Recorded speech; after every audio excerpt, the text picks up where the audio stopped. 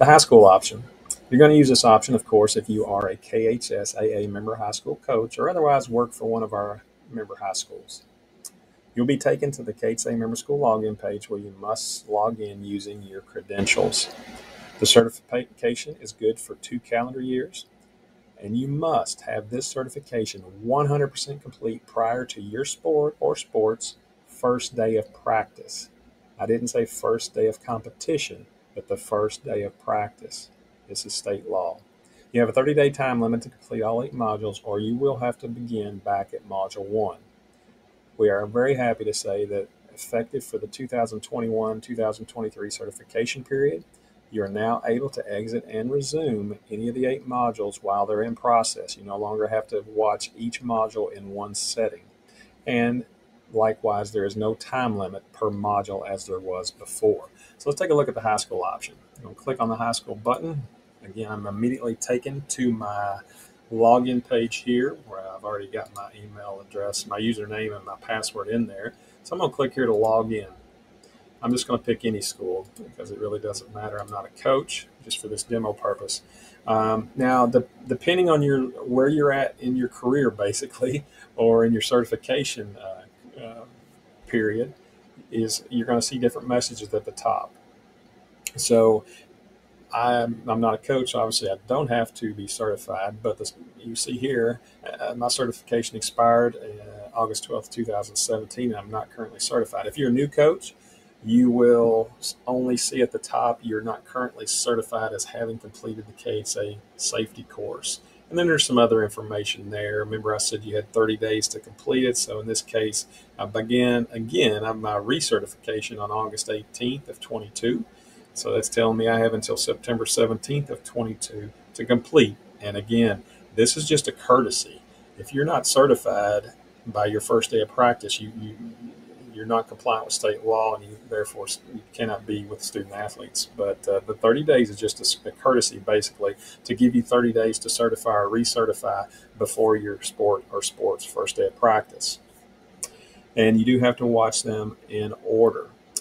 Uh, again, depending on where you're at in your certification, uh, if you're a new coach, you will not initially see the available courses at the bottom.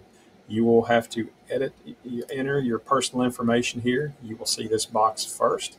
For a recertifying coach, if you need to recertify, you will have the ability to update this information there. And uh, you'll just want to hit update. If you're a new coach or a recertifying coach, if you're happy with that box, you will then see the module list.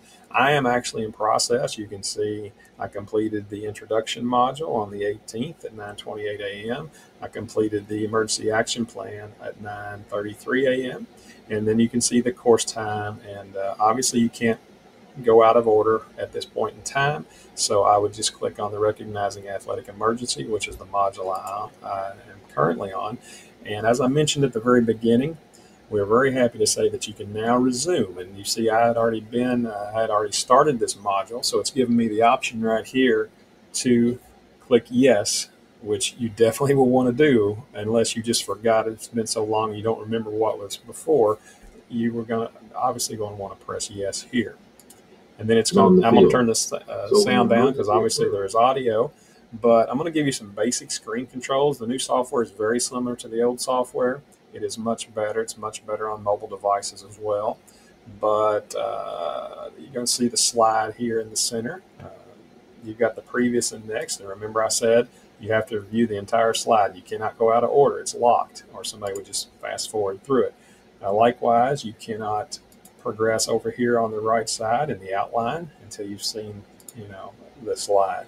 Now, I can go backwards and review at any time, but again, I can only advance to the slides that I, you know, I have to obviously view the slide before I can uh, see the uh, next slides. Uh, some basic controls at the bottom. You've got a pause and play. You've got a little time bar there that tells you how much, that shows you visually how much time is left on the slide. You've got a rewind button here, which basically just starts the slide back at the beginning if you had to step away for a second volume control, and then the button I think you'll use the most is probably the full screen. You probably want to go into full screen mode. Um, previous next, you've got the notes here, um, which is a very it's it's basically a transcript of every slide. So uh, you know, obviously the doctors aren't you know everything they're saying is not going to be on the slide. They they said give you a lot more information than the, bullet points. So if you uh, if you need to read along, you can there. Uh, believe that is pretty much it. You can see a little bio there if you would like to about the uh, about the doctor in this case. Now, I just want to be very clear on this. If you have to step away for any amount of time, I would say even if you think you're going to have to step away even for an hour, let's do the proper procedure on how to get this thing to resume. So you're just going to, of course, get out of full screen mode. You can either close the browser tab or you can hit exit module. In this case, I'm going to hit exit module. Now, if I'm if I'm you know, this this could be the case uh, if you've stepped away. You, you probably will want to go back to this screen, but you know you can close your browser and come back the next day or you know tonight or whatever. It doesn't matter. But when you log back in and you click on the module again, just like you saw earlier, it will ask you to resume, and you just say yes. Thank you. Good luck, and have a great season.